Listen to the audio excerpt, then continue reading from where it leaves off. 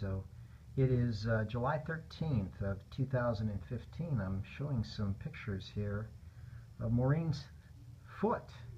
You can see some pretty good progress then. And Maureen, if you want to just put down your foot there, and we can see that we've made some phenomenal progress. But let's turn back the clock. What were you thinking on uh, February 3rd when you took that picture? I was thinking I was going to lose all my toes. Yeah, they actually wanted to take you about mid-foot, right?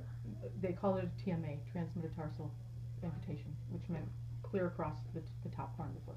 Okay, so And then they said you'll just get an orthotic and you'll move on with your life. well, And I what said, uh, I don't think so. what changed everything?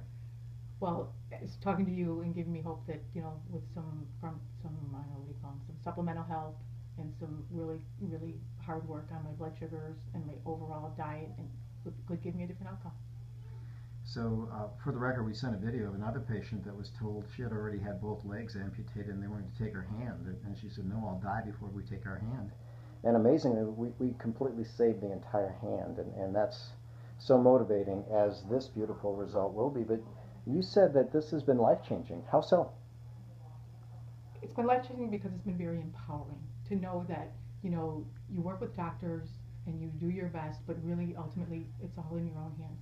How hard you work, how much effort, how much you're willing to do. Eh, to I mean, I feel like I'm in recovery now. I am recovering my health, and I'm never going to lose it again. Good for you. So, do you have advice for future patients? Well, make your health a priority if you aren't already.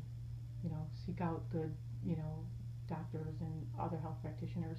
You know that, you know, you, you build a relationship and trust because trust is so important. I saw so many doctors who let me down during this process that I had started to lose trust in doctors, and um, I'm glad that I found some that I can trust and who I can, you know, move forward with. Beautiful. Do I have your permission to use this information with doctors, students, patients, and even Facebook? Yes, Any conditions on that? No. Thank you so much. you're welcome.